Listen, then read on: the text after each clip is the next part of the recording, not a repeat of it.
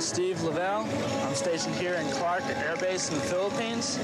I'd like to wish everybody in New York, especially my family and my friends, a very Merry Christmas and a Happy New Year. Hi, I'm Brian Kenny. Join us each week for the WTZA TV bowling tournament. This week, our champion, Ron Ooh Baby Jansen of Kingston. He edged Willie Lattimore of Wappingers Falls, beat him by just two pins. You can qualify too for our tournament. Just contact one of these 17 qualifying houses that you see on your screen. Maybe you too can be on our show. The WTZA TV bowling tournament every Sunday at noon.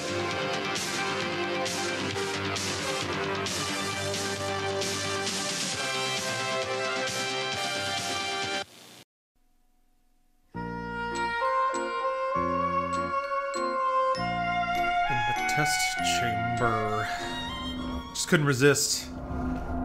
This Gaben Siren Call is too good. I'm in on a rail though. Blah, blah, blah. Which means I gotta fucking. I don't think you can take take Barney's with you. You come here. Come here. Stop. All right, fine. We playing Half Life. We playing. Oh. We playing Half Life. We sip and drank, and we got the natty light ready to go. It's gonna be a night. Let's make it one. Her. Oh. Gaben got me again.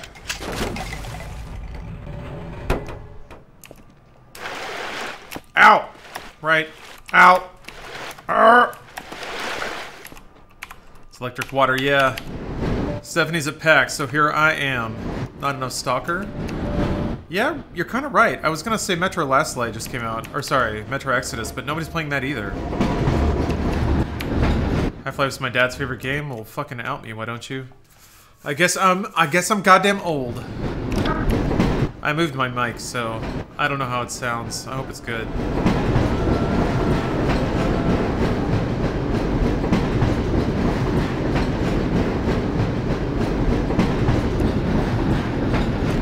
Half-Life is too Half-Life 2 is too hard? That's interesting. Cause in playing and replaying Half-Life Source, I'm kind of surprised at how hard it is. My man is 53. It's genuinely odd that he would find Half-Life 2 too difficult. Hmm. Actually, I take that back. Some of the Nova Prospekt sequences are rough. Folks might be wary of Epic Store. No, I mean, it, it's sold. The game has sold pretty well, um, which might be Epic propaganda, but...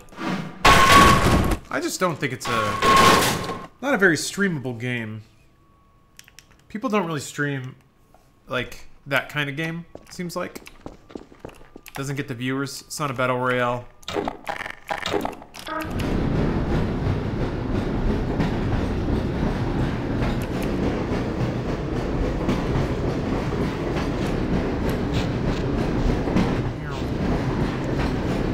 Not liking on a rail. I'm not liking this this level, and I don't remember why exactly. It's like kind of puzzle puzzly. What happened to Sekiro? I decided not to play it right now, but I might change my mind later.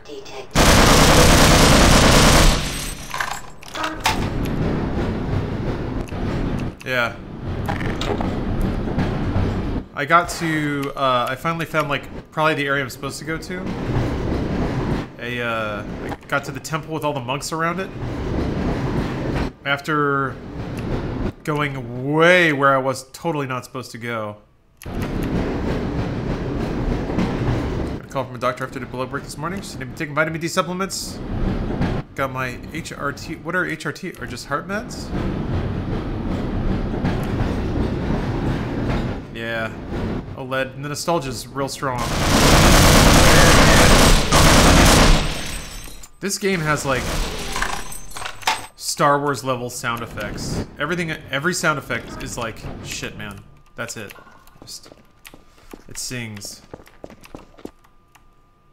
This is also one of those like last PC games that has a super wide FOV and a really high frame rate.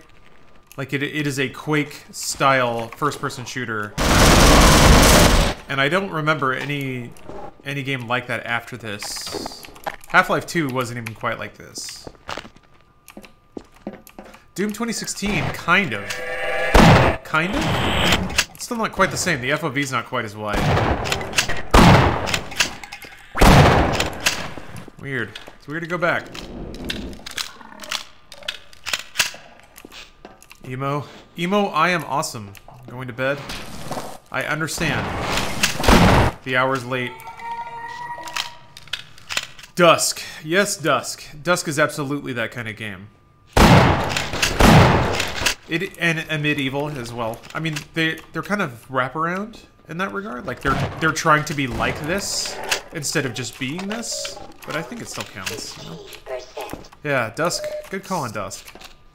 Here's my question: Why did Dusk seem to grasp people when Amid Evil did not? I guess people are just into like that, into that vibe of game more. They don't like the weird Hexen style fantasy shit.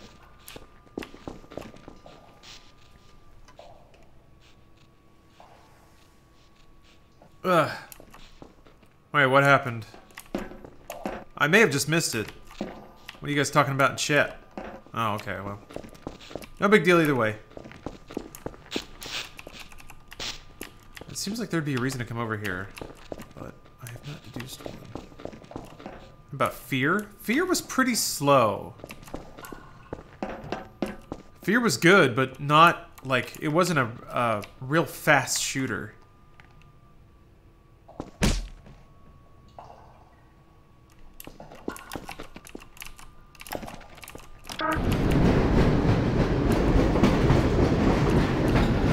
Man, Fear was good though. Yeah, Dusk is Dusk is great. It's a game that dares to just be gameplay gameplay forward and have moments that are more about your experience playing than uh, than like scripted moments or story sequences. Just focusing on map design and the flow of a level and and where they can where they can plan your eyeballs going and stuff. It's pretty cool. What keyboard are you using? Uh, this is... This is the first model of Razer Black Widow keyboard that they released. I think I bought it in 2010 or 2009, somewhere in there, and I've used it ever since.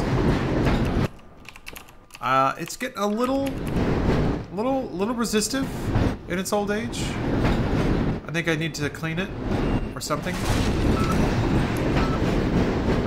I am scared of the day that it just breaks or is not unfunctional, non-functional. That will not be a fun time.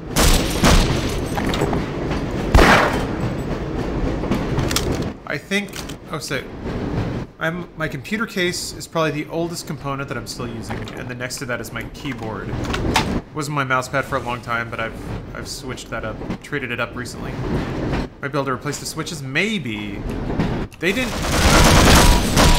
When they made this model, like disassembling the keyboard and having different kinds of switches was not in vogue yet. So I don't know that this this model keyboard can really do that because I don't think it. I really don't think it was built to do that. There's like a rubber foot that never really put back on. So let me see here. Razer Black Widow model number RZ030039. Product number. Oh, there's the thing. That's a whole thing. I was kind of hoping there'd be a, a, year on the bottom or something, but it doesn't look like it. Yeah, it's heavy shit. Can you pop the keys off? Not really. I've never tried, but yeah, with with most new mechanical keyboards, you can just pull the keys off and like replace them. I'll try with an arrow key. Not really. No. This is like this was this was the first mechanical keyboard that was ever made since the the Model M, as I recall. So this was like this is first run shit. And when they announced it, I was like, yes, I want that badly. And I was like, hell yeah, Razer, for actually making, like, real good, real good shit. Ah! Oh, that's right. Uh, tricks.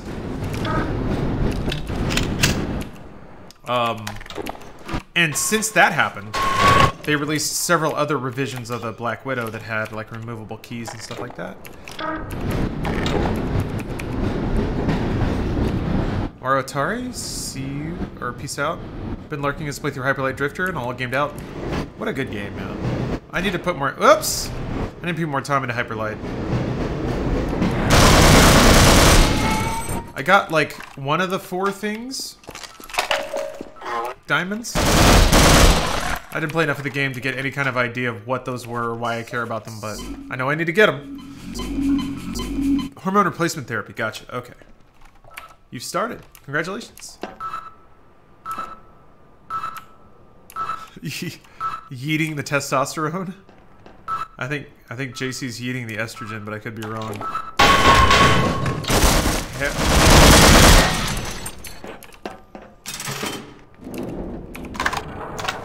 Grease great too, yeah.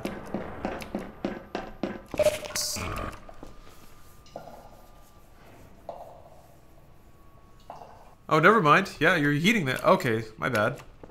I did not even finish your chat message. Sorry about that. You're totally eating the testosterone. Okay.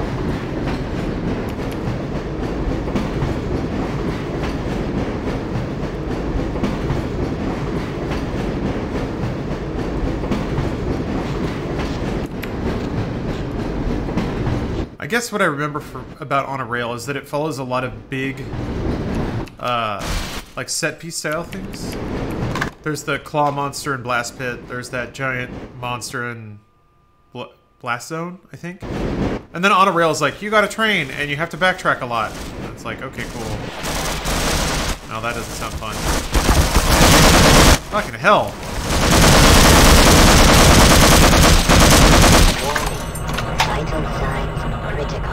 Yeah. Not looking good, coach.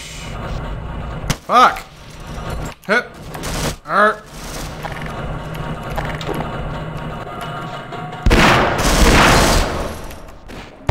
Oh! I'm gonna die. Alright. Oy. So it's a sequel to Hyperlight? Really? No way.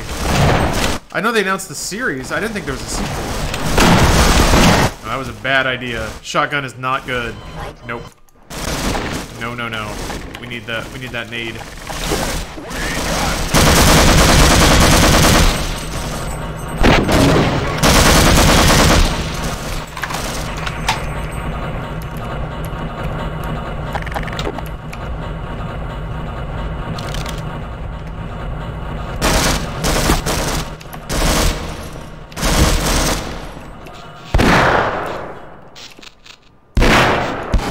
Fuck!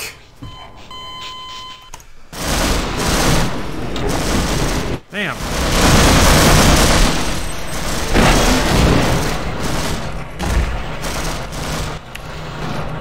See, this is the thing. This game is not easy. Oh. Thank you, thank you, Hydrobot.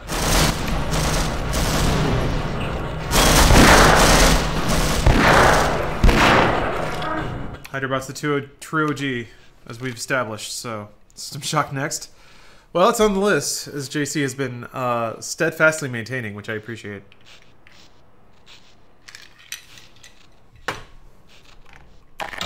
CJ Rickle. Or is it... Is it Junior Ickle? Oh. Some Shock 1 or 2 or both. I...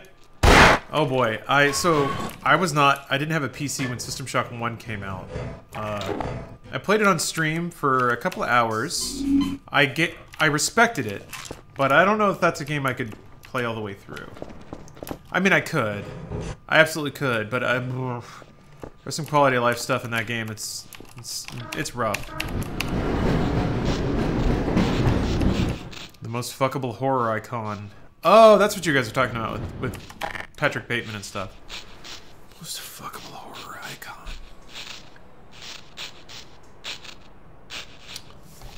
Ted Bundy?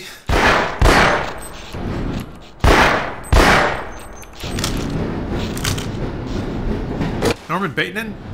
Norman Bateman wants to fuck his mom. I don't know that that makes him fuckable. That is some nope territory shit.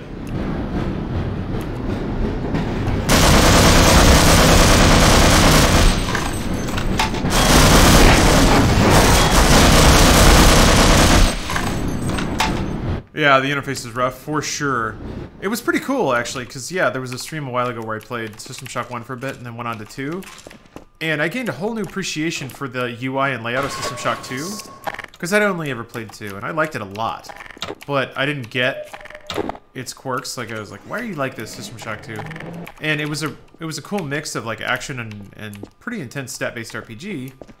That got a little dumbed down in Bioshock and then even further dumbed down in Infinite. But, you know, whatever. In the age of... Or we were in the age of dumbed down games. It's kind of going the other way, which is a fucking phenomenal. Holy shit, these guys do a lot of damage. Um... So... Fucking hell. A lot of words to say. Uh, yes. Interface is pretty rough in System Shock 1. System Shock 2 basically took everything about it and made it much more workable without losing any of the gameplay complexity. I think I think they did a really good job adapting BioShock for a console because my god is is BioShock or is System Shock 2 ever a PC game? I don't know that you can get away with a game like that on a controller or just without a mouse basically. Damn, these guys are angry. Skarsgård Pennywise. He's fucking with kids, though, is the problem. It's hard to hard to get get your get your fuck desires on somebody who is terrorizing children. And Freddy is does that, but he he's more into sexually active teenagers, and mostly with him, it's like his goofy sense of humor. yeah, you're right. That's a phrasing issue said that Ken Levine is not making games anymore, really storytelling. He is. You just haven't seen what it is. He's got a. Irrational Games didn't close. That's the thing people keep forgetting. They fired everyone, but it didn't close, and they didn't fire everyone. I think I think Mr. Levine pared it down to like. My understanding is that Ken Levine pared it down to like 15 people, and they're working on a project. So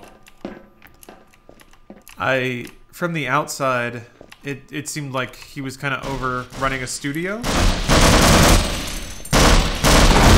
Which I can get, especially after Infinite.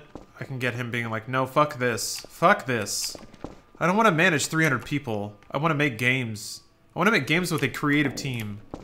Is, I bet. I'm... Would bet where his, where his head was at, and I can't fault him for that. Can't kind of fault him for fucking over the lives of hundreds of people, theoretically, maybe? Seems like what happened. Ghost Story Games. That's right, they did change names. Yes, forgot about that.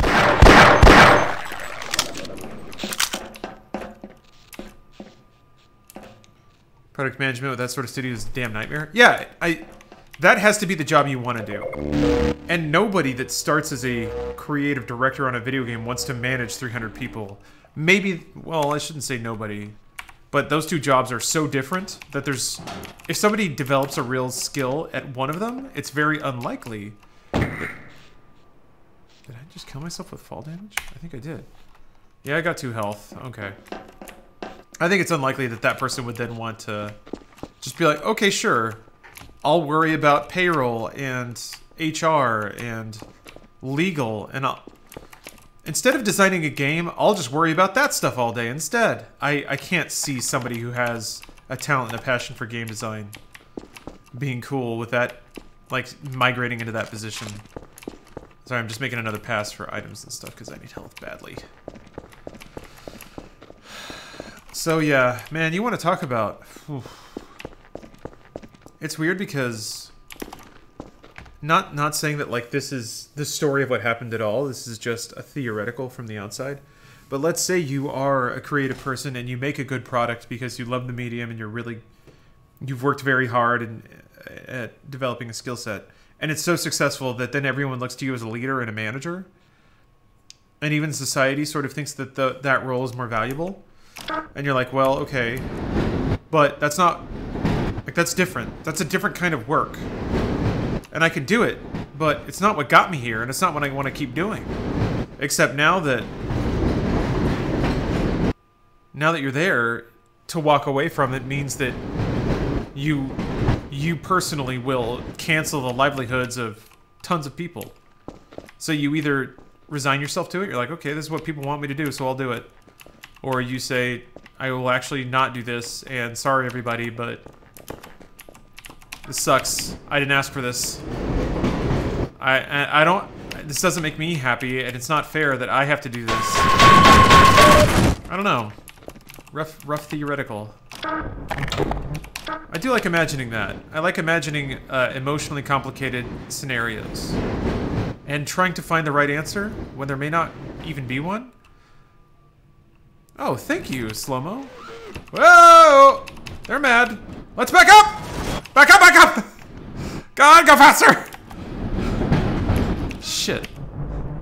Uh, thank you for the cheer. Uh... I don't think their AI is active. I got a few of them. Here's here's an emotionally complicated scenario for you, and I was just turning this over in my head the other day. Uh, how do you handle what's what's the optimum solution to somebody asking a question in Twitch chat that was just asked? Because either they're new to chat or didn't hear the answer and their question was asked in good faith. But to repeat the answer is theoretically annoying to the other viewers because they just heard you say the same thing. So then, what do you do? What's what's the optimal solution? Let chat answer it, but then wouldn't that person feel ignored?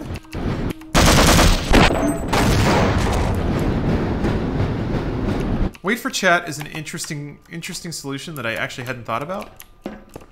That wasn't I didn't even consider that that might be an option.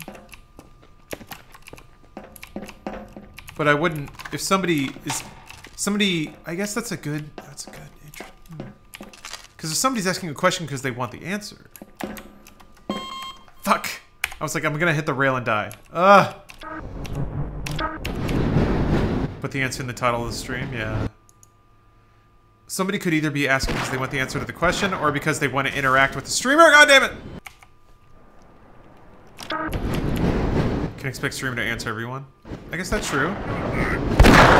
Ooh. Got ace on that trigger.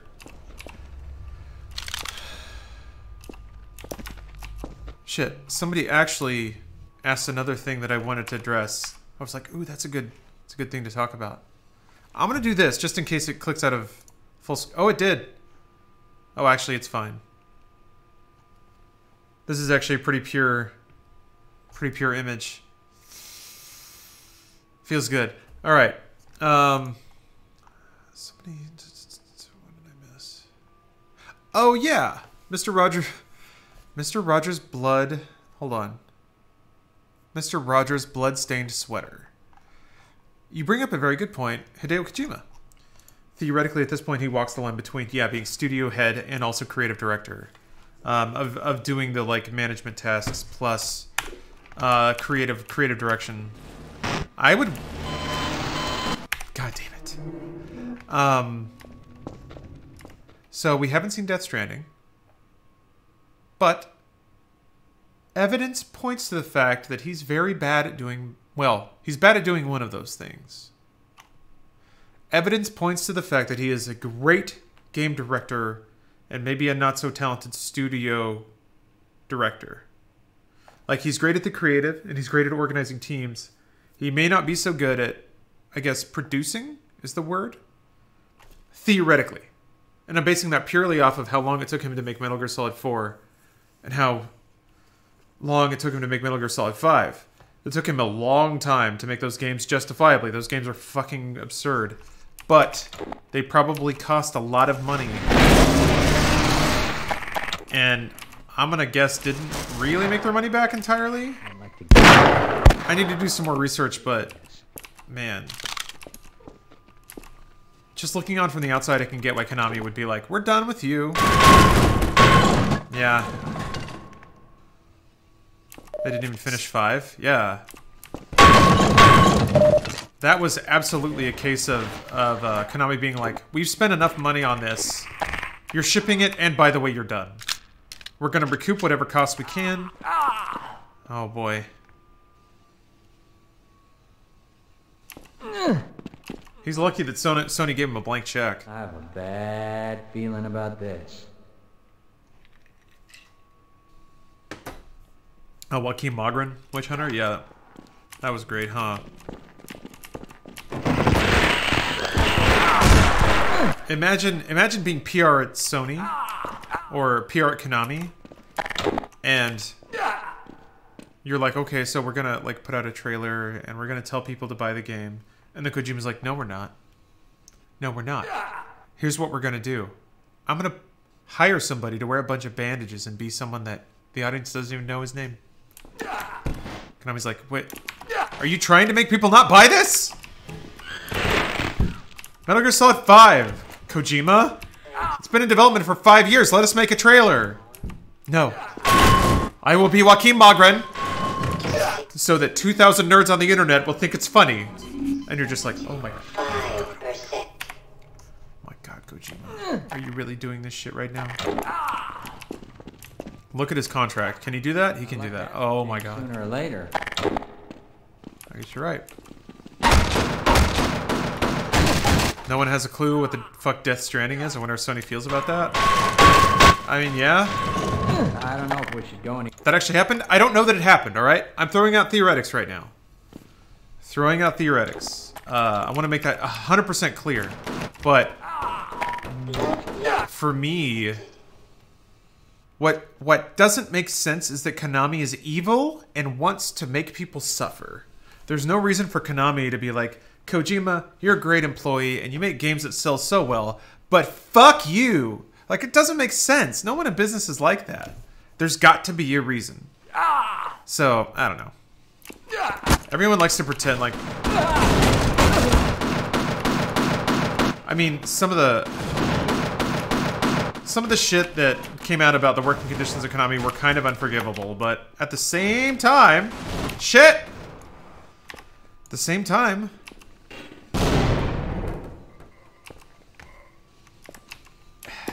if you've got to me what that reads like is is Kojima has 300 employees and Konami's like, "What are they doing all day? What are they doing all day, Kojima?" And he's like, "Don't worry about that." And they say, "We are worrying about that cuz we're paying your fucking paycheck. What are they doing?" Kojima said, "They're making art." And then Konami said, "Oh my god. Give us a game in a year or we're going to ship whatever you have." Kojima was like, mm, "Yes, Konami, evil." I don't know, man. These are other ways to look at it. Konami had to pay for it. Sometimes I think it is like it is kind of like teenage kid parent. Like I pay your fucking rent, dude. You don't get to have opinions about capitalism before you pay taxes. So, yeah, I don't know. Not saying this is how it went down because I'm not a mind reader. But I do know that companies are, usually aren't in the business of being evil for evil's sake. Usually they're evil because it makes them money. Or because it prevents them from losing money. One of the two. That said, Kojima is a fucking brilliant game designer whose legacy is unimpeachable. So, let me put that out there too. Not saying he's a bad guy. But I mean, con consider like Ken Levine's scenario when he's like, I can do this work, but I don't want to. Consider a version of Kojima's scenario where he's like, I can do this work, and everyone else around him is like, you shouldn't want to. That's that's too much for one person. Like you have to specialize, Kojima, and you are very good at designing games. Please don't assume that you can also run a studio. It's just aren't enough hours in the day, my man. But Kojima's the guy, right? He's got the Levine effect, where everybody like looks to him and calls him a leader, even if he didn't ask to be one. Because he's the guy. That's a, a weird thing about human nature. You want to look to a leader, one person.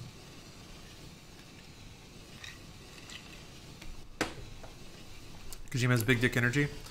He studied economics. I so like I I'm just fucking I'm just spouting words right now. I want to make that really clear. I have I don't have a business degree. I've never worked for Konami. I've never I've talked with some people who have worked for Konami, but never about this topic in in any capacity. So, I don't know what I'm saying. I just think that there's a narrative that's appealing to listen to, and then to me, there's another narrative that makes a little more sense to me. But everyone has a different worldview, and I think it's really about to what degree what you hear jives with that worldview. And that's kind of what I'm laying out. To me, what I've seen a lot is not necessarily that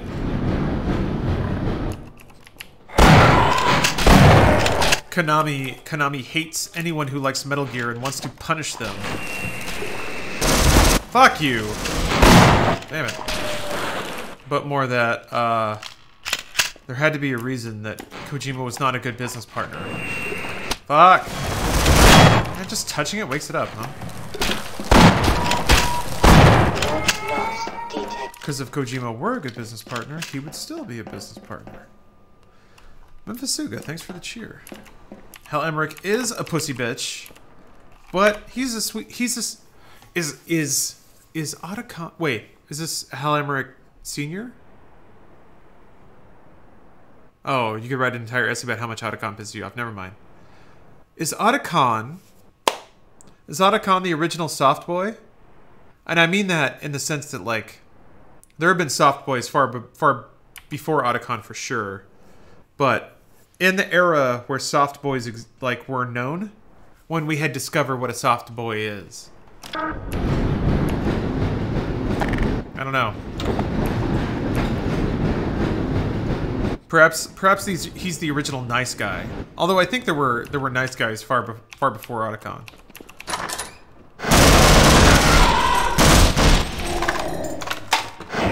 They were called bitch boys at the time.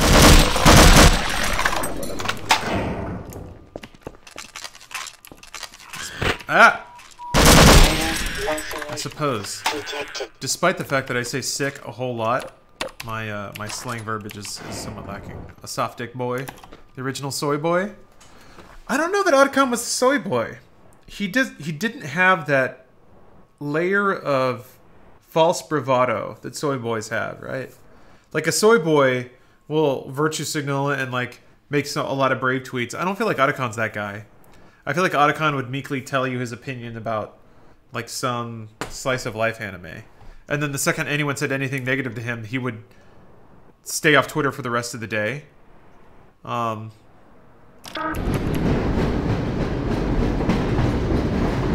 he would be on a, on like more than one role playing forum. You're gonna continue Sekiro? Shit, yeah, I am. I'm just not playing it right now. Did he fuck his stepmom or something? Yeah. Yes. The answer is yes. Did you guys just see that Matrix dodge? So I'm pretty sure Kojima likes his movies. I think he was just going. I think he had just seen The Graduate. I think that's what. I think that's what that's about. I think he was like, "Wow, The Graduate. Wow, I should put that in my game." So much of Kojima's games are he sees a movie and he's like, "Wow, oh gosh, wow, this movie. I should put this in my game." I think that's. I think that's what he was doing, because Otacon is kind of like Dustin Hoffman's character. Dustin Hoffman's character is kind of a, a pile of shit too, And The Graduate. Kind of. Warning. Vital signs critical. Kojima and Stephen King are pretty similar. Really? You think? I've never gotten that vibe from Stephen King, but I'm also not super well read. Wasn't aware this key background Otacon. Oh my man. Yeah. Play Metal Gear Solid 2, the part where you swim around underwater with your stepsister attached to your back. I'm realizing now Kojima is actually Kojima's real smart at designing games for ultra ultra weebs. Which, yeah, no fucking no fucking wonder he's so loved. Now we will have an entire part of the game where your stepsister, your cute, innocent, vulnerable stepsister, clings to your back while you swim underwater. Otacon gets pussy. Not the right kind. Yeah. Doctor Eleven. That's the most succinct spoiler for The Graduate I think I've ever read. Yeah, you have to hold her hand. We have helmets that'll feed you snacks. Where's a helmet that'll hold my hand?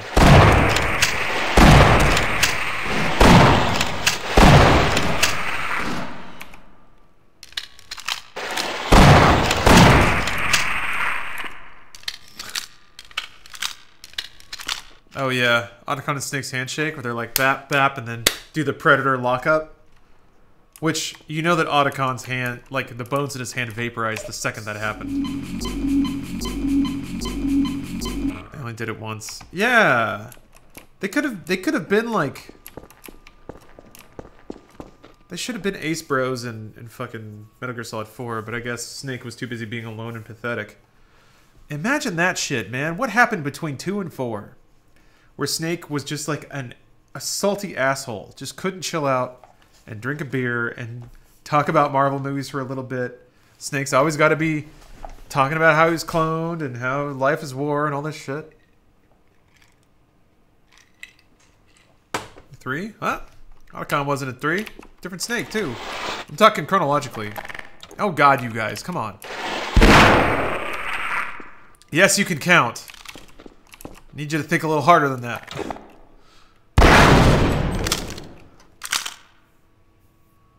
Yeah, if you were to, if you were to slap his ass, your hand would fucking break because it's so flat. Yeah, he doesn't have a lot of features. In four, at least, he had a little gristle, like he had some stubble, but it was more like, do you just not shave anymore? Did you give up on shaving? Is this what your body can produce after three weeks of not shaving? Yeah, it wasn't the best. Haven't played Metal Gear Solid, you're a fake gamer? It's worth playing. I think even now, like, people thought it was art back in the day. I think now it's like B-grade camp fun, which is what it always was, but people couldn't really figure that out. Uh, it's like Resident Evil, but not self-aware. if that makes sense. It's like Escape from New York, but not self-aware.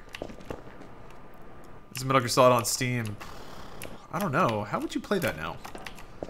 I can't imagine playing... How's Resident Evil self-aware? It's zombies. It's... Everything about it is Western horror. You... I don't think you make a story about... Hmm. I'm trying to pin it down now. Yeah, Ninja, I would say Resident Evil knows how ridiculous it is, but they're remarkably similar in tone, aren't they? Like long soliloquies from characters that are like reincarnated slash half vampire slash genetically enhanced cyber ninjas. That shit is in both of those series. So how is it that I think Resident Evil is self-aware, where Metal Gear Solid is self-serious? I think it's because Metal Gear Solid also gets preachy. Metal Gear Solid also tries to have a point on top of Cyber Ninjas. Whereas Resident Evil is just camp. It's camp up and down and through and through. It never tries to lecture you, aside from saying consumerism is bad, but hey, whatever, that's zombies. So yeah, I don't know. Fair point, though. Eh! Fair point, though. I do feel like at times I am too harsh on Metal Gear Solid. There's no way I can get a grenade in there. Oh boy. Have you played Mafia.gg? No, you're not the first person to recommend it either.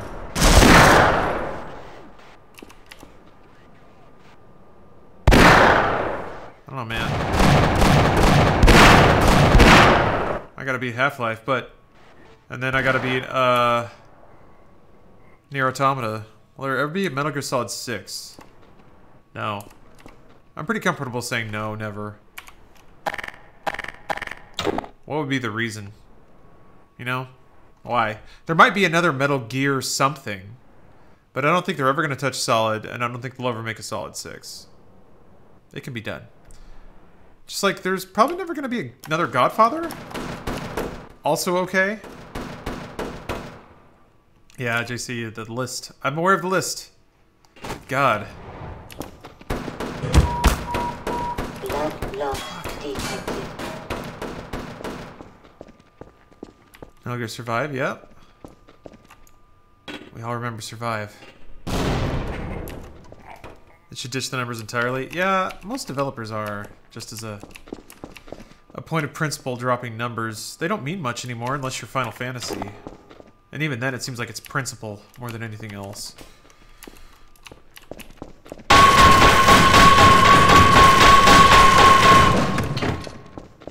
Not on Steam. Is it on, I guess, PlayStation Now? I haven't gotten rid of my PS3 Fat because it is the last console that has largely true backwards compatibility. And I can't really even... I can't imagine playing Metal Gear Solid without the PlayStation 1 low-resolution shit. Use PS Now? I don't. I'd never tried to. Hasn't... That might be good, I guess. Kazuhira Miller a surprising down-to-earth backstory about being born to a Japanese woman after World War II, and the revolver also was raised by the Illuminati. Yeah, and he's like a triple secret agent? Whatever. Kojima can do both. That's the thing. He can do both. And I think the results speak louder than my analysis of his execution. That series is well known, it's well loved, it's iconic. That doesn't happen by accident. So he knew what he was doing.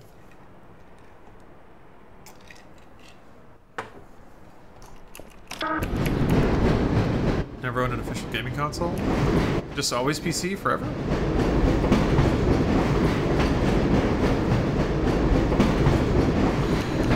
Deus Ex a kind of Metal Gear Solid style game? You can play it that way. Yeah. I think, yeah. Metal Gear Solid is a lot of kinds of games, but you can play it like a Metal Gear Solid game, and I think it has the plot to match. It is very conspiracy-driven, government.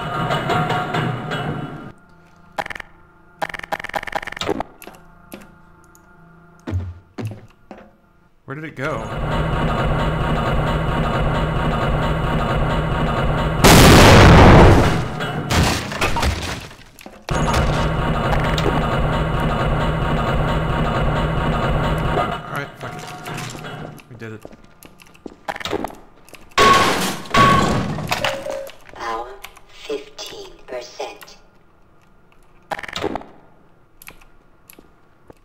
Supposed to get through the torture sequence in MGS on original hardware. Use auto key to make a super turbo button. I was always able to do it, but I think you're justified in like. It's interesting. There, there are certain. Some people just can't mash, and I think that's okay. I think that's okay. That's my that's my brave statement of the night. Now I remember like Resident Evil 6, 5. The the Chris punching boulder section was a button mash, and you had to do it. Um, and some people, yeah, they just have wrist problems or just don't have that that muscle. Like their hands just don't work that way. And it's interesting because, oh shit. To me, that's that's one of those. Ow. Minor fracture detected. One of those scenarios where like best intentions, but somebody who played a lot of games just didn't think that there might be a human whose hand doesn't work that way. And they might really want to play that game someday. Almost, you're going to play through Borderlands Remastered? Oof. I feel like that's going to be a game where you'll play it for an hour and be like, oh, right. And then you'll stop. Borderlands 1, I remember having... I remember ha it having some grit and pushback when I played it when it came out. I was like, ouch. This game is fun, and it'll do. Mm. Blarg is correct, though. If you keep pressing the button after after the torture stops, you can regain more life.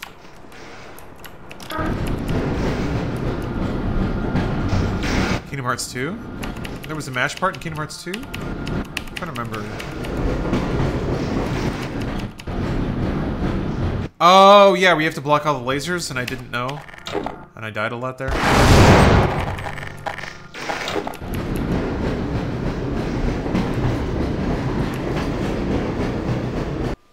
Yeah, there were a few mash parts for sure.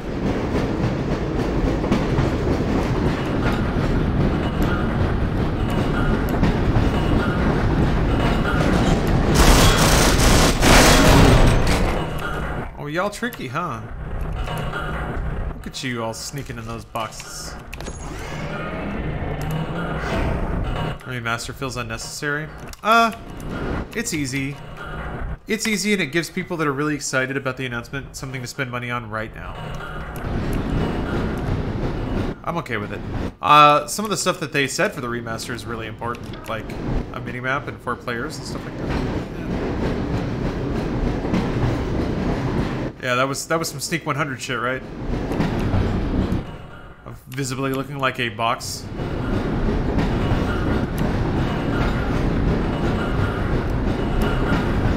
I'm, I'm so... My heart is so warm that Skyrim is so in the consciousness of the world that that is a meme. Just Skyrim skills.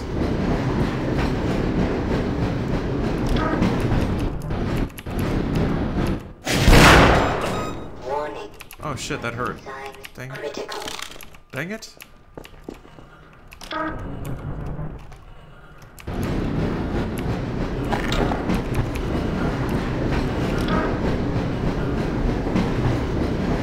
Oh, the Handsome Collection went from 50 to 20 bucks to 60. Oosh. And they also turned off the ability to convert discs into to Steam, right?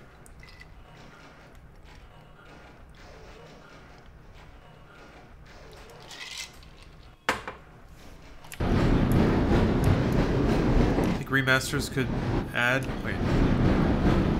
I think remasters could serve the purpose of adding new stuff to the game or just making it look pretty. Uh. I think it's always a question of like. I mean, it's it's it's always what's viable, really.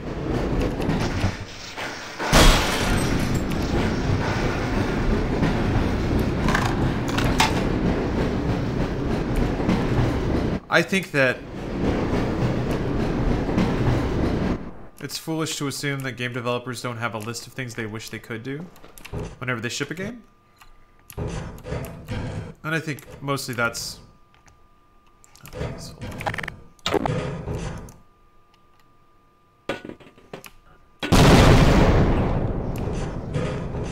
I think that's most mostly what remasters are, are good for. Is like, okay, let's let's dust off our old wish list and ah.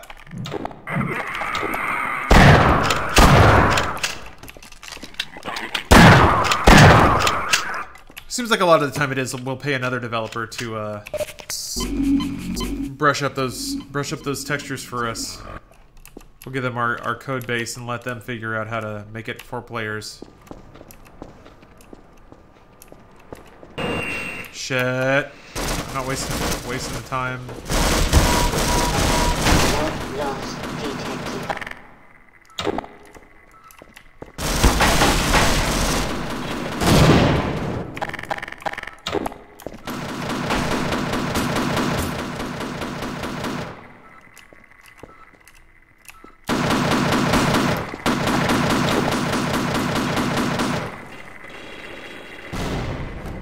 Oh yeah, the difference between remaster and remake. Yeah, there is that for sure.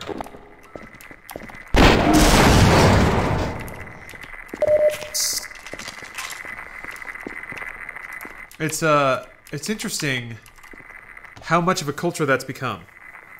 Uh, oh, you can push the boxes to cover. I actually didn't. I did not know that. I'm gonna break them. Get get those sweet batteries now. I to me the like the the remake culture we're kind of entering or the remaster culture I should say. I feel like it's it's totally evidence that there's a, a big wave of gamers gamers. Oh yeah. They're getting older. Zero. Science team. You think he was responsible? Sabotage, maybe? Maybe. All I know for sure is he's been killing my buddies. Oh yeah, he'll pay. He will definitely pay.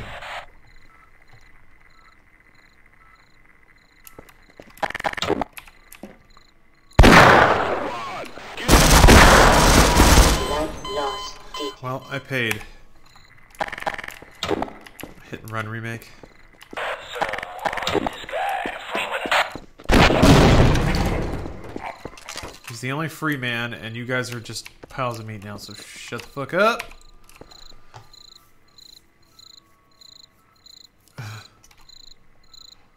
This is nice.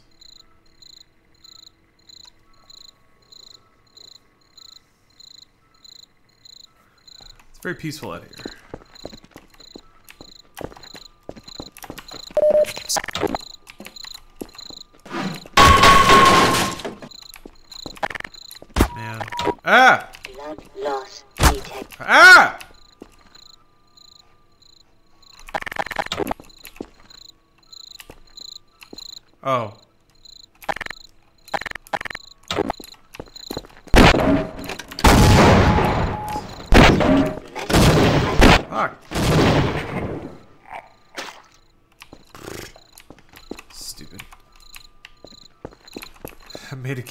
It sucked. Yeah, same. I made a breakout clone. In JavaScript. Oh wait, that's breaking.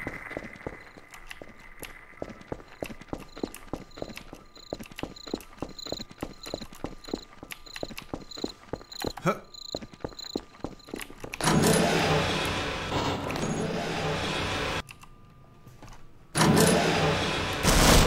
I never played Gravity Rush.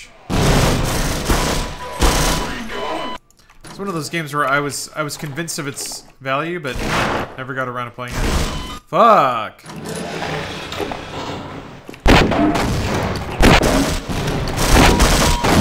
God. I like how they go back into like muscular dude pose right away after after killing you.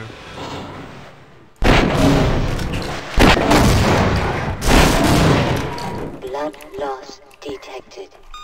There, I did it. Emergency. User death imminent. Yeah, yeah. Don't worry about it. Are you worrying? Cause stop. I'm good.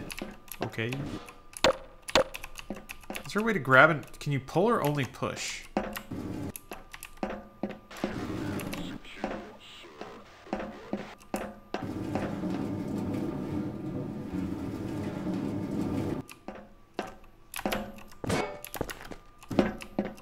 Pretty sure I fucked myself. If that's in the corner, you're you're kind of dicked, right? Java sucks. Yeah, thank you. One of many reasons I don't respect Notch. He coded in Java. What kind of baby do you have to be to program in Java?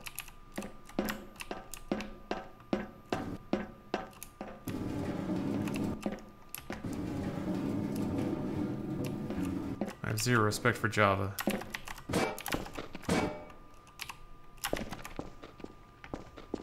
He's not a Nazi. He just believes in Nazis. Or the Nazi adjacent. Shit! Damn it! Blech. I mean, honestly, Incognito, Java's the worst reason. The fact that Minecraft is made in Java is unforgivable. It's a knockoff of another game made in Java. Ugh. Blech. Christ. It's a student project. That's the definition of a student project.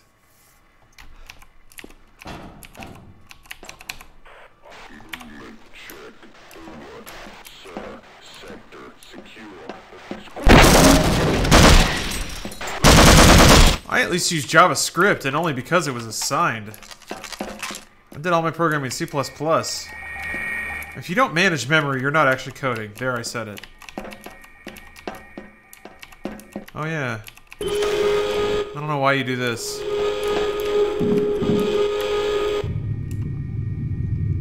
What was your major? Computer science.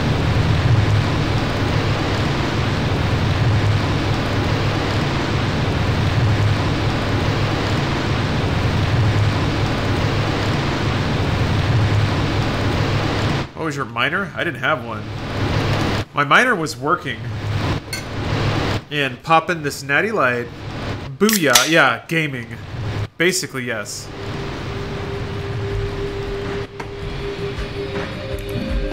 I here's what I did in college. I went to school.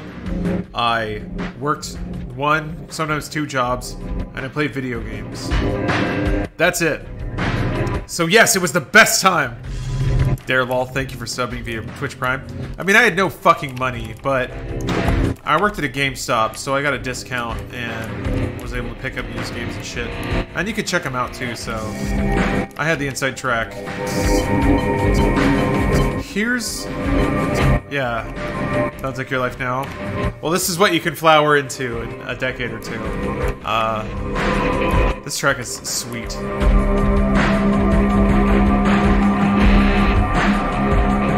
GameStop won't hire you? I'm gonna just sit here and enjoy this music for now.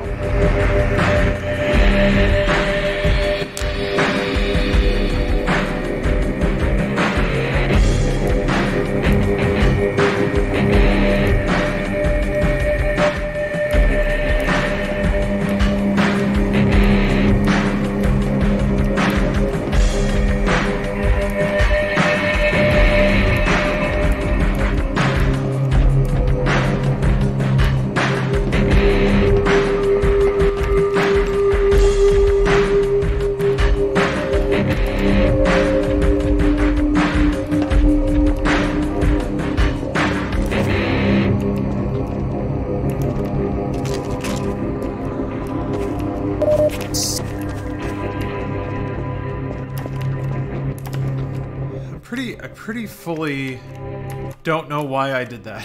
Why did I launch that rocket? There's a reason, I think. Anyway, yeah, I don't I don't know why GameStop won't hire you. That sucks.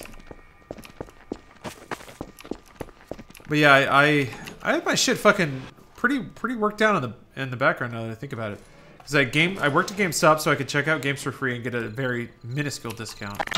And then I uh I worked at the school library, which meant that I got paid pretty well to like clean computers and tell people where books were. Um, I basically had to like wipe down and sterilize our our like inventory of laptops every day, and then also just direct people around to the resources of the library. Essentially, my job was to handle the bullshit questions that the librarian was too qualified to ask. Like, where are the laptops? So I would basically go, if there was anyone in line waiting to talk to a librarian, I would go and be like, hey, can I help you? And then if they had a really easy question to answer, like, where is this section? Where are the books? Where are the microfiche? Where are the computers? I could just like tell them that. Uh, which was, it was the fucking sick nastiest job because all I had to do was help people, which is so good. So many retail jobs think that they're that and they're not. It's to, to sell shit. So it was wonderful to just purely be of service, which is something I actually really enjoy doing. Is, is just getting people what they want. And then um, I thought you had to go down in there, but maybe not. And then that also gave me a discount on my tuition. Bonk, bonk. And then I also had scholarships. So working two jobs, having a discount on my scholarship, and getting free video games. You gotta find the angles. Gotta find the angles in life. It's the dream, yeah. There's gotta be something in this room, right? Do I jump in the globe? Huh! I mean, I'm gonna be, I'm gonna be honest though. I did not, I probably could have broken off some of that video game time and been a little more social because that was an issue. I was not, I did not socialize properly. Did you drop out? No, I graduated. Graduated and got a job uh, coding banking software. That paid very well, but I didn't care. Like, uh, there was a point when, like, I got off of work and I went home and I was like, I got paid. And I was looking at my bank account and I was like, the number's going up, but I don't like this. I'm not happy. So yeah, in college I was already like submitting articles to gaming websites and stuff, and I was like, I want to do this for a living. So that's when I started to shift it up.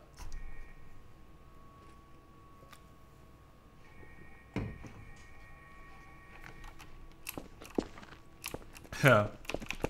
Barnes and Noble selling booze. Getting fucking wasted at the B&N. Where do I go? Uh.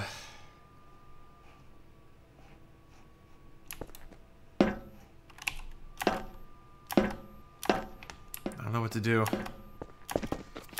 Yeah, Mookie Deester, I, I feel bad sometimes describing the state of my life because it's fucking perfect.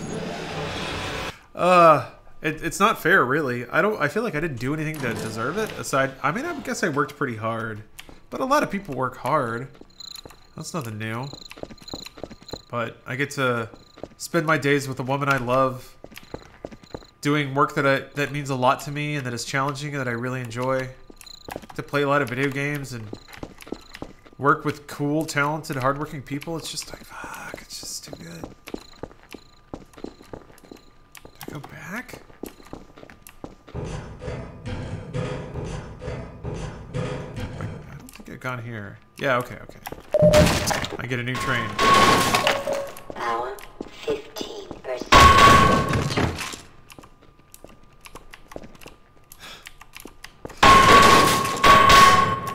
Reading self-help books.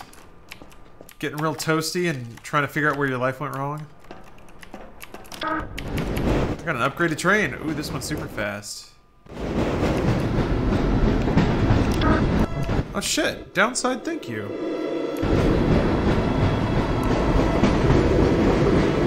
That was a that was a very fun experience. Uh, I'm sorry. House of Pain, uh, specifically.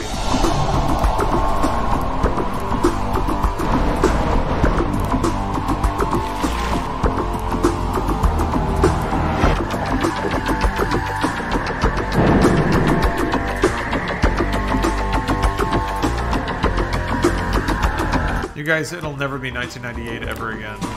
You guys know that? It's 2019 right now. 20 years ago.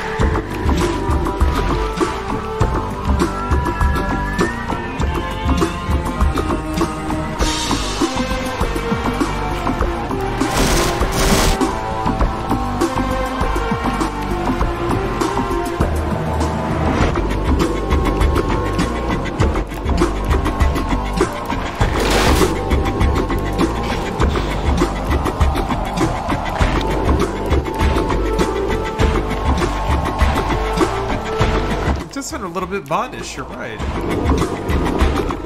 I mean, isn't 98 also the year GoldenEye came out? I think this is just how music sounded back then.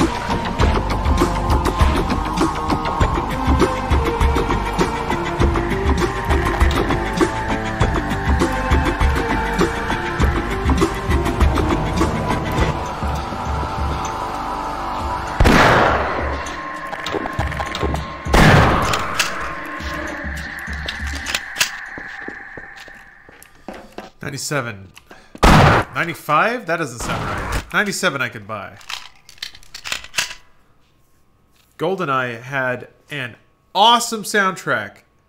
What happened to Eric Serra, man? He did GoldenEye and he did Fifth Element. Two amazing scores. And then I... Wait, no, I looked this up because I was watching GoldenEye again the other day and I was like, fuck. Film was 95. Yeah, the game was 97, right?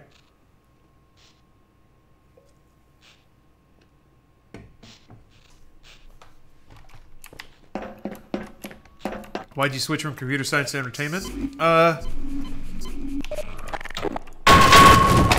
It's strange.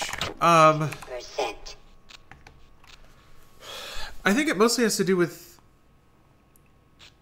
I realize at some point it has everything to do with who I'm working with and not what I'm the work I'm doing. That makes sense. Um, so I remember I I had, I had kind of noticed this at some point because I had the greatest time working at GameStop when I was starting. Because my my managers were like cool funny people and we got along and like we could talk about games and music and shit and we'd just hang out and like we'd help people out when there was work to do and when there wasn't work to do we'd still be working like we'd be cleaning up the store but it was so much better with like some just spending time with people I got along with. And then so so my theory was always that if I worked in computer science, if I worked in code, if I worked around computers, that I'd be working with people that like computers. Uh, people who were kind of dorky, maybe like Doctor Who types, whatever. Man, I can swing. I can. That's cool. But just like nice dorks is kind of what I thought I would be around. And then when I got when I got my my first job, they were there, but it was mostly like just people who got a computer science degree because it paid well. And they like they watched a lot of sports and they weren't bad people. I want to make that clear. I just just didn't really connect with them. So I felt isolated. And part of that is my fault. The aforementioned didn't develop social skills thing. I'm gonna own that part of it. I was I was not easy to be around. I can I can identify that now. Ah, dang it. Uh, but still, uh, the problem still persisted for me personally, of just feeling alone. Uh, I had I had some good friends at the time who I I uh, feel I feel a lot of regret towards because I never really expressed to them how important it was to have somebody that made me feel accepted at that time. But really, I just man, I've never felt more isolated in my life because I was living alone. I was working a job and like it was like you know eight nine hour workday. I'd go to work and not really interact with anybody that I felt like understood me or shared any interest with me. Um, so I'd largely be treated like an outsider while I was at work. And then I'd go to my terminal. I'd listen to my Creative Zen MP3 player, which music was very important for me at the time. It's the to me, music at the time was the only thing that I felt any kind of connection through. Music and games. Um, I'd write code while listening to like Bad Religion, and then go home and play video games by myself because streaming wasn't then either. So I didn't even have this. Like I didn't even have this connection. I was just very alone. Was it like Office Space? It was very much like Office Space, yeah. So uh at some point I was I was just so lonely and sad. I was like I got to do something to change this up. So still the goal was to find a job, find a vocation where I can be reasonably assured that I'll be surrounded by Did you see? my peers, people that share my passion. It was hauled from the Challenger Deep, but I'm positive that beast never swam in terrestrial waters until a week ago. There's a tranquilizer gun in the shark cage, but I'm not sure it would work on this species. You're welcome to try.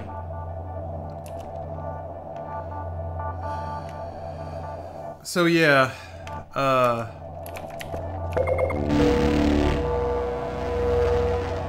The the thing is like that's a really scary proposition of thinking, well damn it. I've, I guess I've arrived. Oh, we got a well Jesus shit going on.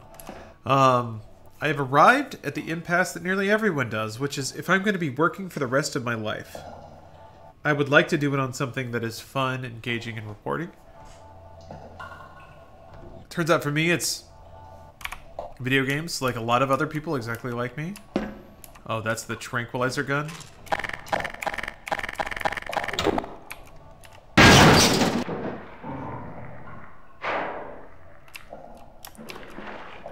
So then it was like, well, okay, I guess I'll start working at it and we'll see what happens. I'll try to do the job that literally everyone else wants to do.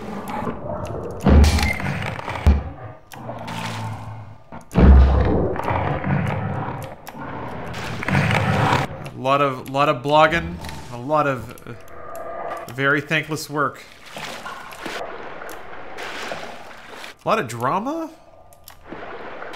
I learned that drama is kind of uh, it's kind of unavoidable when you're dealing with people who have different motivations for why they're doing what they're doing.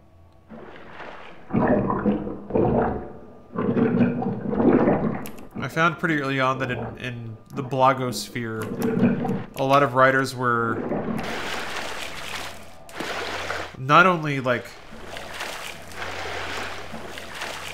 it was very it was very bizarrely incestuous in that a lot of writers would copy phraseology. Oh shit, phrasing and. uh and even opinion from like other blogosphere opinion people. It was all this like weird game to just be a person, like to be a thought leader. It's like, what the fuck is this? What is this? What is this? Why? What is this about? Trying to like throw out the most curated hot take. This is dumb. And then there was a whole other factor of like, I am only in this so that I can become friends with Hideo Kojima. I was like, ah. that was weird. There, there's a whole faction of people too who are only in it because they want adjacency to the gaming celebrities that they admire. And they'll put in the time, man. Because I, I think they don't even understand their own motivations, which gets weird. Um, when, yeah, when people work on something and not even understand why they want to get into it.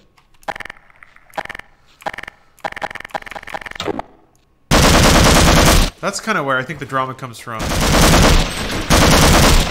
sorry, Barnacles, but I don't want to get you. When when there's a delta between what somebody says they want and what they actually want, that's that's where drama happens.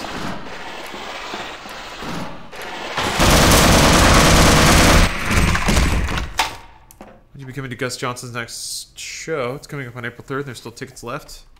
I didn't know he did shows.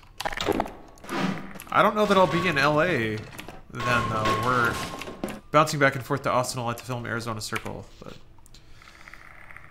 really enjoy the random Band-Aid shit. thoughts on the GOG Warcraft Diablo stuff? No real thoughts. Blizzard Blizzard needs revenue. Is is what I would think. Uh, they haven't released a product for a while. Uh, they don't have any products coming out this year. So if they can flip if they can flip a product on GOG and make some money, that's good. That's real good.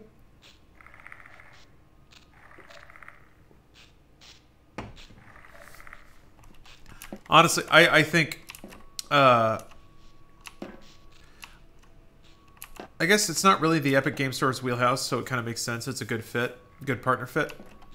Uh, but I'm willing to bet Diablo sold really good. It was like ten bucks. That was that's such an impulse purchase for a lot of a lot of people that have ten bucks to spare.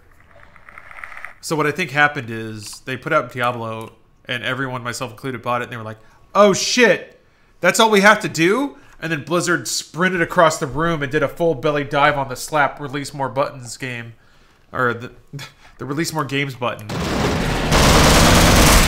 because it, it's easy money, and I'm not a businessman, but I'm gonna say fiscal 2019 is scary for Blizzard because they don't have a product on deck unless Immortal comes out this year.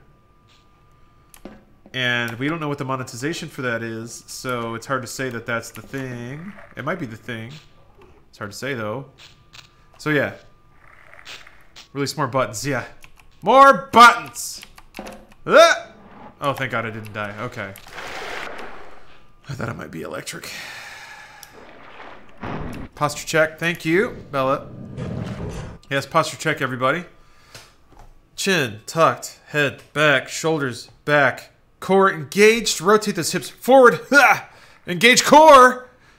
Yes. Uh. Okay. Sit like Captain America would sit. Mm. Sit like you're defending freedom. Uh, so somebody asked, sorry, kind of scrolled off the top, uh, but somebody asked what was the last straw. It's funny you ask because I actually do remember what it was specifically. Um, and I, I've told this story before in chat, so this is one of those moments where I'm like, do I just launch into it or do I apologize to those that might be annoyed at the repetition? Well, I'm going to do the latter, so if you heard this before, apologies, but there may be new ears, so... Uh, for me, the moment when I knew things had to change was so I worked for a software or sorry, I worked for a company that that wrote software, obviously. Uh, they wrote banking software. It was it was the software that ran on teller machines in banks. Uh, so like Somebody's got to write that, right? Like, there's a lot of boring software in the world. Stuff that runs in your car, stuff at banks, stuff in grocery stores. A lot of boring software.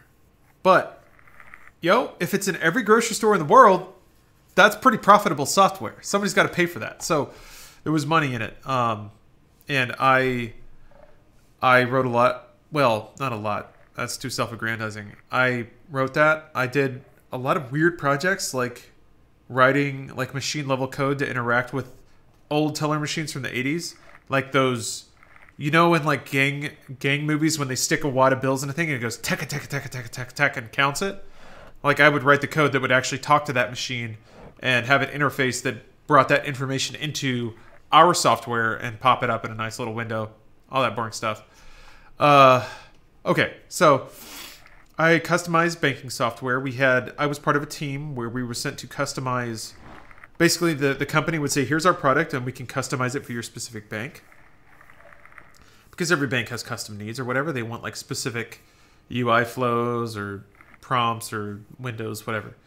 Uh, for their their custom products or to even teach their employees how to make it themselves because we would give them also the development tools. Uh, so we had a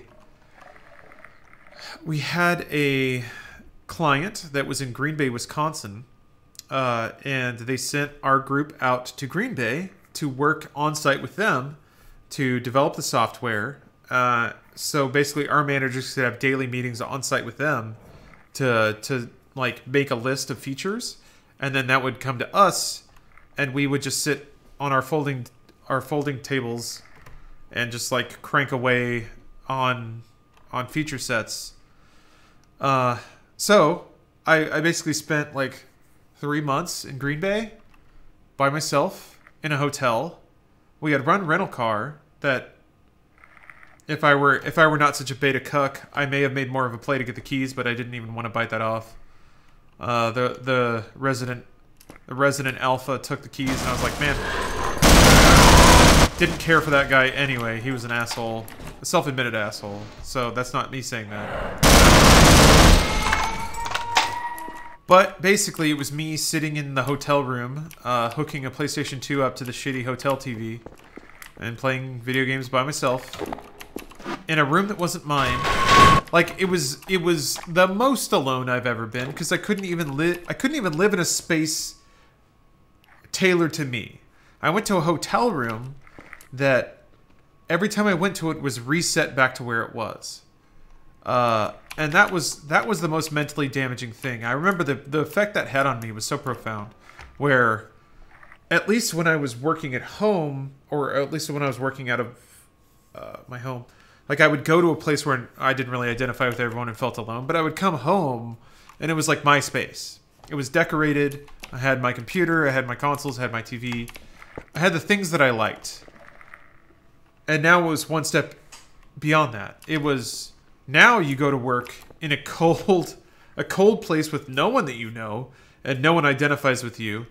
And then you go home to a hotel where everything is sterile and, and uniform. And after a month of that, I was just in such a bad place. Like my MP3 player was honestly my only lifeline to anything that I could even hang on to that, that brought me joy. Um, I remember going on a lot of a lot of long walks at night, uh, just through the snow and the dark, with my MP3 player, you know, just listening to music and and trying to maintain some grip on who I was and what I enjoyed in life. Uh,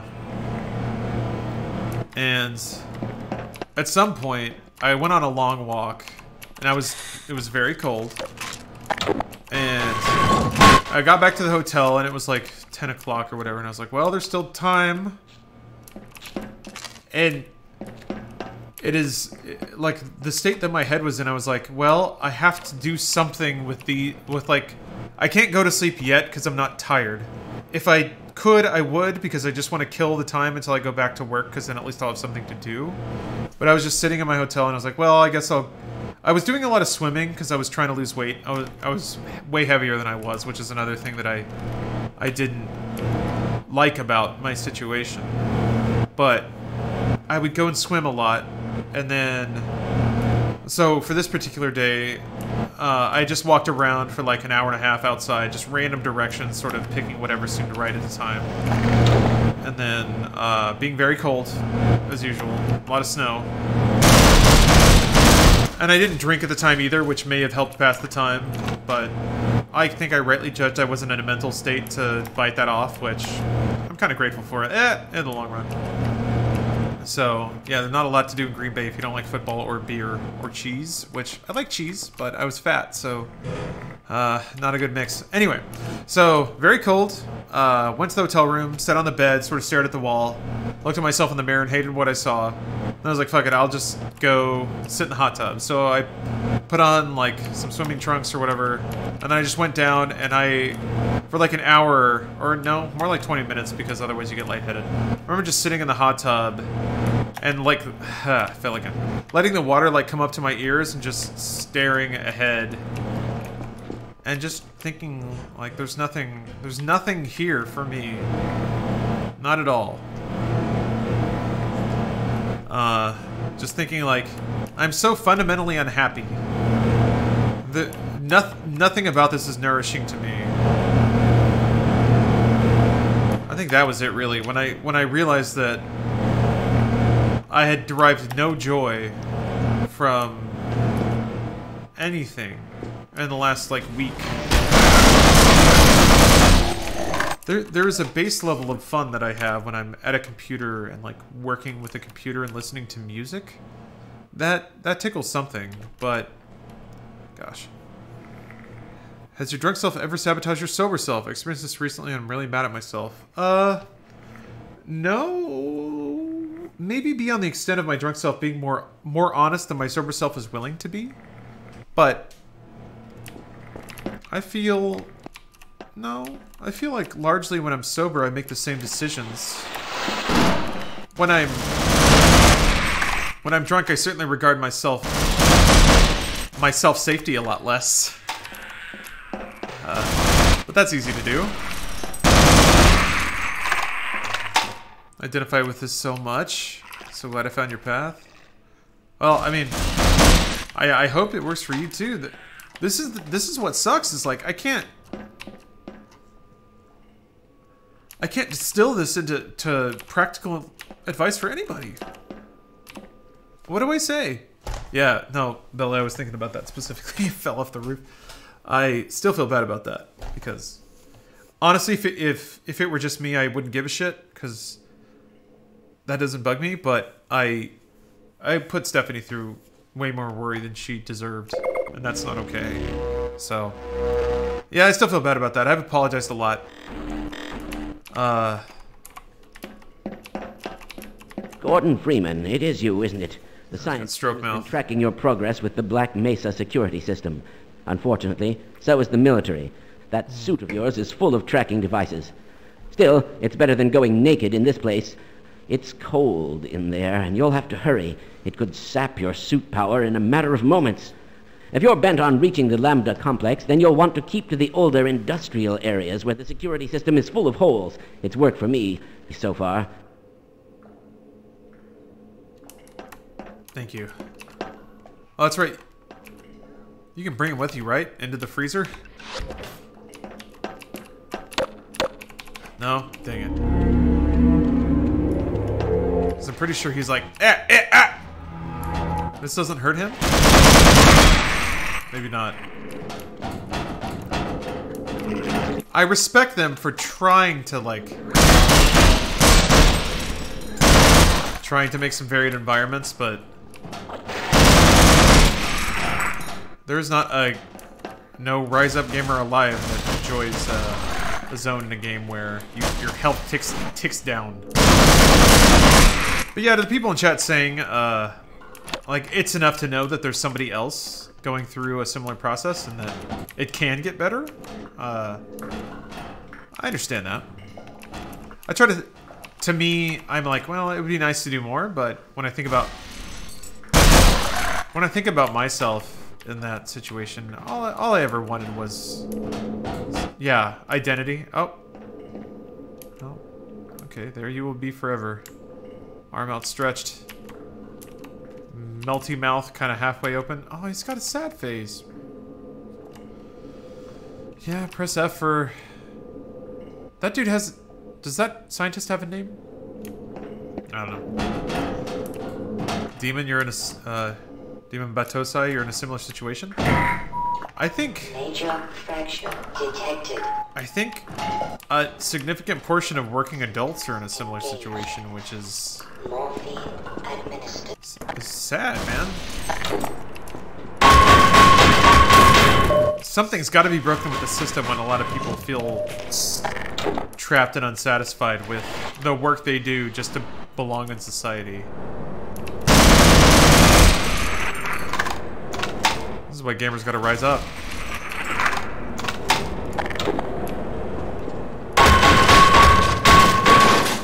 I don't know though. I I think the the counterpart to that is that as I think it truly is, you just have to find a group you belong with, and then the work doesn't matter so much as long as you're doing it with people that you like or that you identify with. And then it just takes a little self-initiative and willingness to to brave some uh uncertain future. So like I said, I Ah one of the things that really that, that kicked off my desire to change my situation was that uh, I, I really thought back to when I worked at GameStop and how I really enjoyed that job until I was made a like an assistant manager, and then I had to work like open and close shifts by myself, and then it was a job that I hated, and I was like, how did this job change so drastically? It's because I was working alone, um, or working with a manager that I didn't really identify with. So, yeah. So it really is. It really is all about the people you're working with. It's not so much the work. But I do think you can hedge your bets a little bit. If you're in a line of work where you're, Screaming, right? it's likely that you'll be around people that you identify with. Oh, the assassins! Yeah, I forgot about them.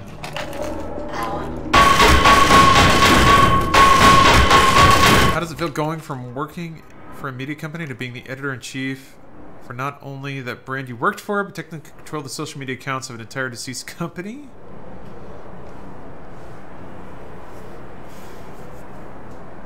Maxie, I don't feel anything. And I I that feels like the wrong answer. But I don't need my ego to be stroked, so it's not getting stroked. All I think about is the work ahead of me. And that seems like such a diplomatic answer, but it's honestly true. I don't feel any resentment about anything that happened. So I don't feel any smug victory in what's happening now.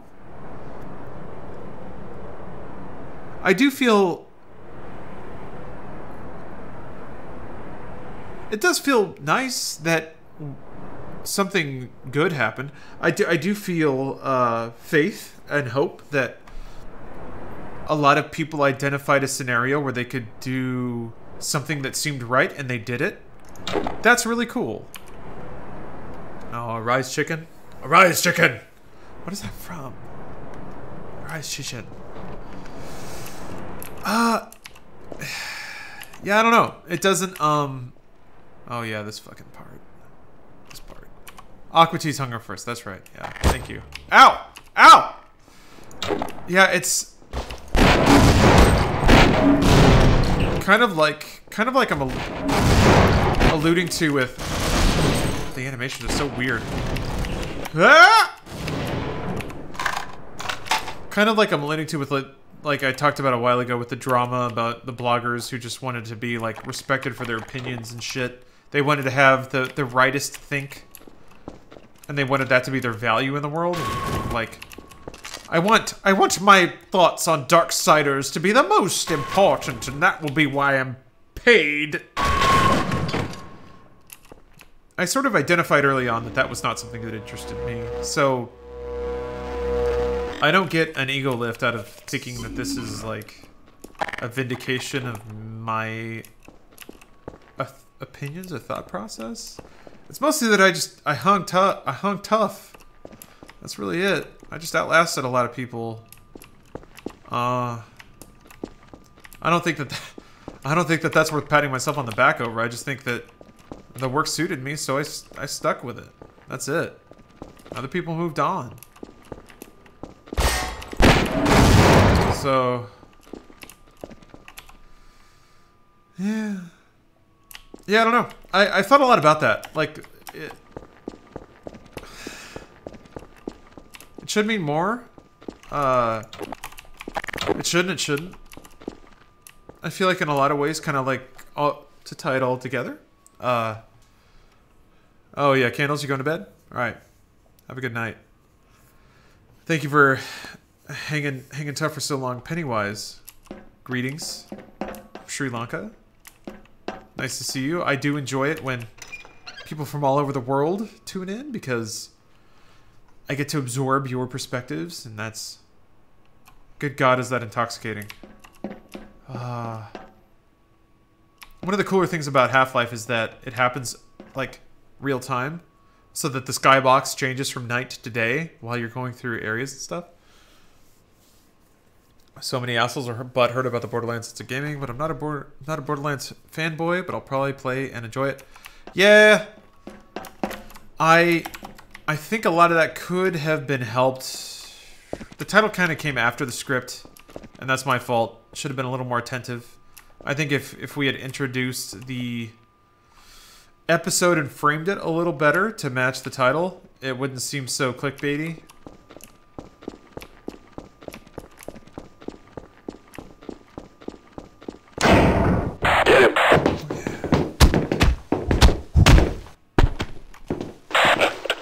I see it. Where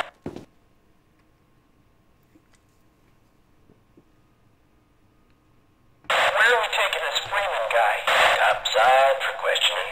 What the hell for? We got him. Let's kill him now. Uh, and if they find the body? Body? What body?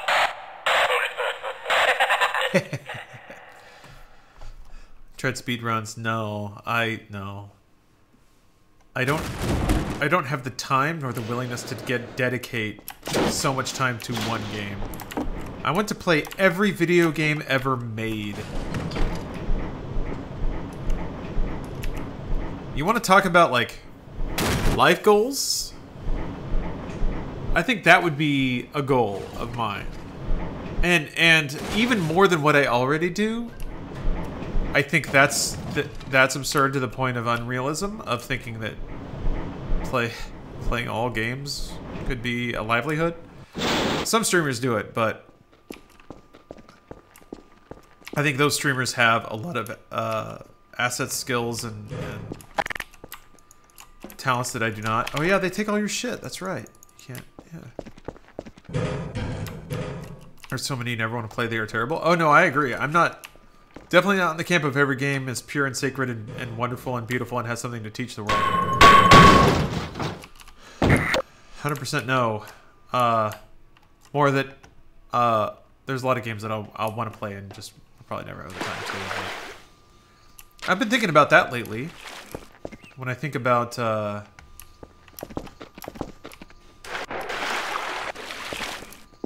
like uh, the next phase of my life, that with with the graces of Twitch and who knows what that's going to look like in 15 to 20 years, but maybe I could look at something like an early retirement where I work really hard for a couple decades and put away a lot of money and then I can sort of lean back on getting some kind of income from Twitch and just fucking play video games all day.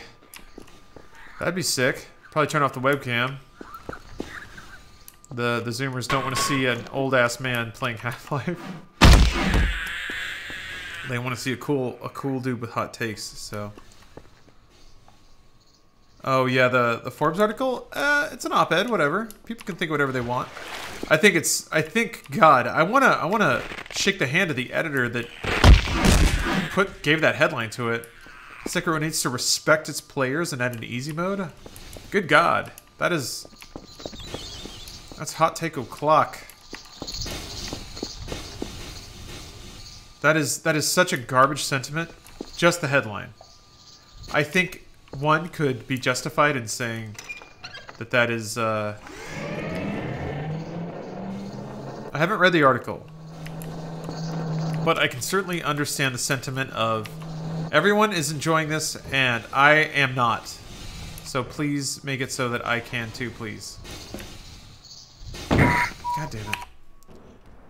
Fuck.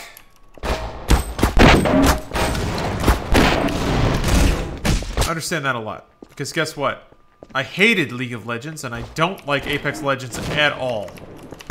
So I get I get the sting of feeling like the universe is onto something that you just don't like. Or can't hang with. Guess what? I like Sekiro, so... Dang. I guess not everything is for you. And... It's, it's a rough feeling to feel excluded. A lot of white dudes are not used to that feeling. So, yeah, it's, it's funny when, like, people feel excluded for the first time in their lives. And the way they react to that feeling. Again, haven't read the article, so I'm making a whole lot of unfair assumptions here.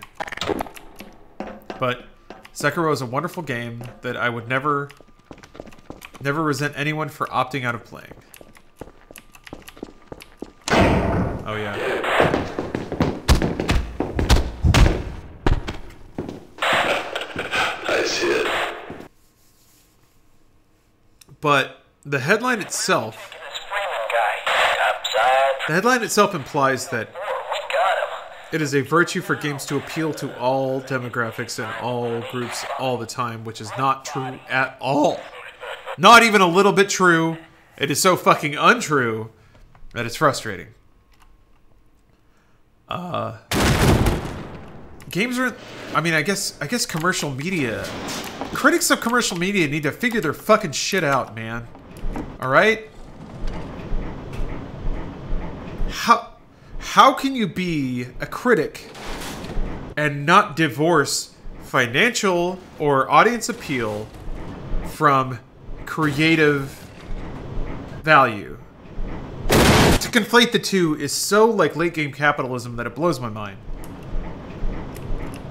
It's it's kind of gross that a writer could think the two are synonymous that a work of art is best when it sells best. That may not have even been the intent. And again, oh, this is me only assuming from the headline. I should read the op-ed because the headline is so perfect. This is why this is why it's so perfect. I don't want to shake the hand of the editor that wrote it because I'm like, motherfucker, you pissed me off just from that headline because it implies so much that's wrong. That is so wrong. Consider it's a Forbes article. They appeal to people who want to make money. A tougher experience means tougher experience means less market share. That's what readers of Forbes care about. Yes, you're you're so yeah. You, you are definitely striking at the heart of the issue, right? Which is Sekiro's a commercial product. So, are we evaluating its success or failure as a creative endeavor, or its success or failure as a uh, uh, like a commercial product? Does it appeal to and sell to as many many people as it possibly could? It should be fucking clear by now that From Software is not into that. It's an accident that they hit super popularity with with Soulsborne. It's a big ass accident. It's circumstantial. They've run with it, and I respect them for that. And I respect even more that they've run with it and still continued to make gamey ass video games because that's all they've ever made. In a world where like we're dealing with AI that will change the game to suit your whims based on your socio-economical platform and and your geolocation and well, we profiled you as this kind of person, so we know that you can tolerate exactly three and a half losses in online mode. I mean, shit, dude. If Apex Legends had this shit, they would have fed me a win a long time ago, and I might have kept playing. But Sekiro is from a developer that accidentally tripped into like AAA dev, and they continued to make they continued to make legitimate, honest AAA hard ass video games. Minor So to look at them and say, "Hold on, you're a big company now. You're not allowed to just make things you want," is the most wrong thing. Why would you stamp that out of existence? That is a tender flower that deserves to be preserved. Put a glass cage around it. Ah, ah. some of that stuff bums me out, especially with like the environment we're leading into, which is that games games like just becoming full-on masturbation simulators. That's the next thing. We're gonna we're gonna have Sekiro's and we're gonna have anthems, which there's a whole interesting conspiracy theory thing going around about Anthem right now, which a lot of shit's already been happening for a long time. Isn't the Heart of Souls games that they do respect the players? Well, respect is a funny term. It, I think it really depends how you view respect. I think the big thing about the Souls series is that they, is that they are what's the word? Mechanically consistent. A lot of games will will fudge. A lot of games fudge the rules for the sake of the player feeling good about themselves, and I have so little tolerance for that. It makes me gag. That is honestly what like. That is the thing that pisses me off the most about and yes, I'm bringing up Mass Effect. Mass Effect went, in the course of three games, went from a game that was an RPG to a game that was a stroke your dick video game. And I have never fumed more at a game in my life than Rubber than Mass Effect 3. And I feel like I feel like everyone reacting negatively to Mass Effect 3 was because they emotionally knew what was going on but didn't intellectually know that the game changed from an actual video game to a you're so great machine of like a slap button you're great slap button you're great. Touch the button for a little bit. Shoot fireballs. Fucking alien everyone tells you you're awesome it was it was what that article seemed based on the headline alone seems to want Sekiro to be and that's what makes me just shiver in anger at that headline and only the headline because I didn't read the article, not yet. Uh, and and what what there's there's a hole in my heart because I see that coming. It's coming and it works, and that's what hurts me, is that it works. People don't know or understand or care, and when they do know, it's it's only gonna get better, which is what's really scary. The AI is only gonna get better. So, even if you think you know, for now, it's gonna get harder to tell. The the chat bots are going to get more efficient. And in the end, I guess it doesn't matter because if you're entertained, that's all that matters, but honesty is gonna go, man. The rules don't matter at all. I have to stay alive until Cyberpunk? Yeah. I have faith that Cyberpunk will be a real video game with real rules that don't bend themselves to make you feel good about yourself. I have faith that Outer Worlds is going to be a real video game. There is a class of nerd that grew up playing D&D and those rules are it's up to the DM obviously, but I mean that's where this all comes from. That's what every video game is. You're just reenacting a D&D campaign with a a DM that isn't there. That was stupid. Uh, so you go to Texas. So you go to Texas chats of Mass Effect. Which choice? Wait, what do you mean?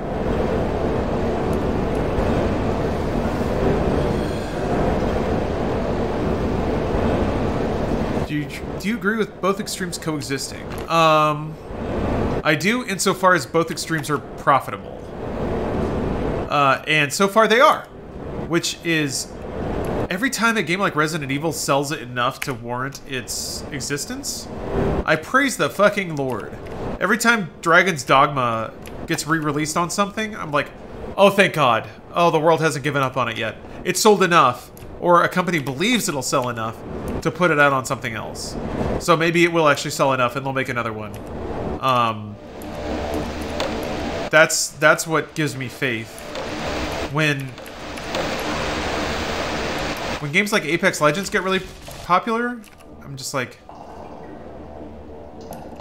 the it's free and that's important and maybe that's really what it is. Like free to play will be the domain of the we're going to scoop up everybody. And that's scary because kids play free to play and they won't understand that they're being coddled by an AI that is tailoring itself to make the game as appealing to them individually as possible That's just super scary. Uh, at some point, we got to be telling four-year-olds what AI is and how it works. Content recommendation engines and shit. They got to know about that. Maybe that's happening already, but how do you even drop that on a kid? That that everything about your consciousness is quantifiable, and companies can and will and already have been like collecting a file on you so they can market to you for the rest of your fucking life. Have fun figuring out what free will is. Screw that, let's watch The Matrix. Oh, wait. The fucking... The, the five microphones in my apartment heard me talking to you about free will, and they're already recommending it to us. Because they know that I like The Matrix a lot! Because I googled it every day. Ah. Is an Apex a multiplayer? How do they coddle people? Um, so for me, uh... I should be clear. I, I don't believe there's a whole lot of AI coddling going on in, in Apex. The coddling, I believe, is the...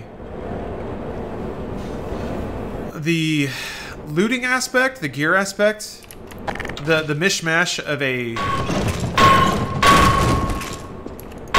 A sort of lizard brain stroking mechanic with another game that doesn't match it at all.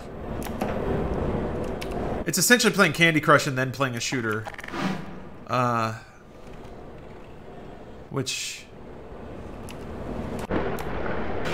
Whatever. It's like... Again, it's like it's like MOBA, except much more approachable. Even MOBA was like, why is there a leveling... Why is there a leveling layer to this game? It doesn't make sense. Why should I Ah, I won't get into it. You're you're correct in, in, in pointing out that the analogy wasn't quite, quite, quite analogous there. I guess what really has me freaked out is when a game like Apex does have AI tweaks where they just they massage your health or massage your armor or while you're running down a hallway they just spawn some bots in front of you. Sorry, not what I meant. What do you mean? No, no, no, no. I'm trying to be trying to be accommodating. You're you're totally right. It was it was a it was another thing in the back of my head that uh and yeah, Carrie Ann Moss is some hard queen material. Jesus Christ, she fucking owns all those movies. How is she how is she so good? And not in so many things. That's what bums me out, man. How do I get to spend my days making videos about video games and Carrie Moss isn't like cast in everything in the world? That doesn't make any sense to me. That's what's not fair. Oh, I'm back here. There are a couple of ways after the game to make it harder. After? I assumed you just would never level yourself. If you'd be given infinite funding in the matter, what genre slash subgenre of game would you want to make, especially considering your impending early retirement as a geriatric streamer? Uh, I don't know that I'd ever want to make a game. Now, I've seen, I've seen what happens, and I have no interest in that. There are enough people who are brave enough to do that instead of me, and I'm very grateful that they are willing to do it so that I can consume their creative output. I think there are so many games that I can play and learn from that there's not... I am...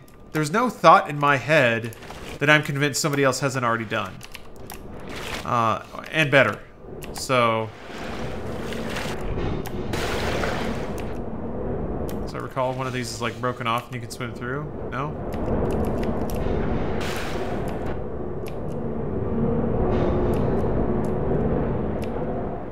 this way.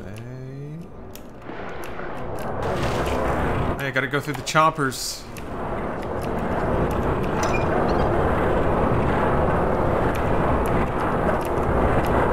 None of the people I know are passionate about it like you are. Uh, yeah, sometimes I wonder, maybe it's a little too much.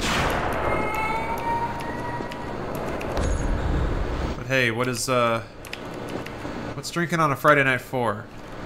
Speaking of which, I have to go use the restroom, so I'll be right back. See you guys in a minute.